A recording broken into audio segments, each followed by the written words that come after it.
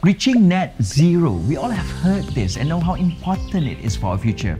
If you have a plan on reducing your own carbon footprint, then get listening.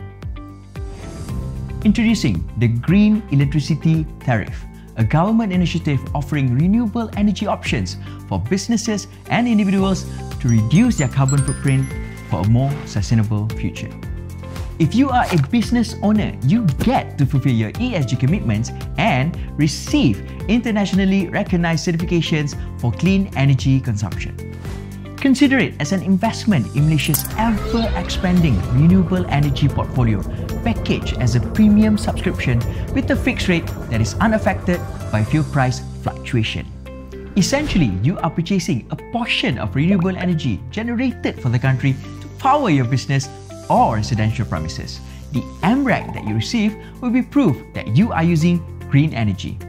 Upon subscribing, you simply need to pay the additional payment for the total renewable energy generated on top of your usual monthly electricity bills. Of course, it depends on what type of customer you are. Get it? Subscriptions are given in blocks from the allocated yearly GET quota based on your customer category subscribe to at least one block or amp up to 100% of your monthly electricity consumption. Here is this year's quota. As a plus point, your subscription will be automatically renewed with a subscription period until 31st December every year. So you only need to apply this once. It gets even better as you will be able to enjoy this additional benefit.